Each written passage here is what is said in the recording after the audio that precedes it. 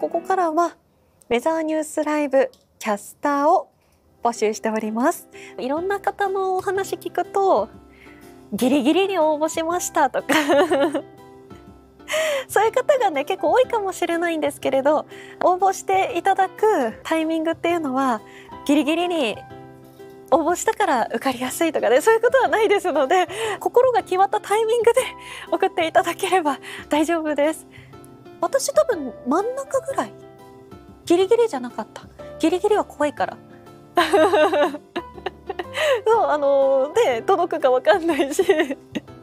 ギリギリ怖いから。気づいたのがちょっと経ってからだったはずなのでそこで真ん中あたりぐらいだったと思います。うん、いろんな情報をお伝えしていてキャスターってすごい大変なお仕事だなってね。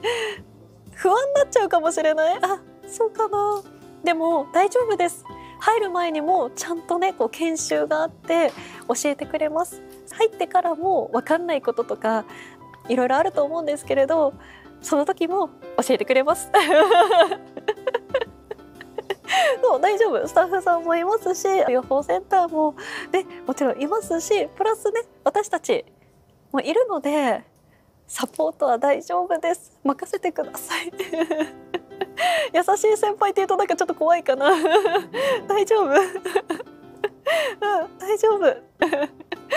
なんだろう。なんかあのすごい何か何かしないといけない。なんだろうすごいなんて言ったらいいのかな。本当やりたいと思ったらその勢いで応募していただいても全然いいと思うんです。なのでやりたいなと思ったらね応募してほしいなって思いますで皆さん安心してください。はい。ほら変なほら変な不安を与えないでみんな。希望を持たせないといけないんだから。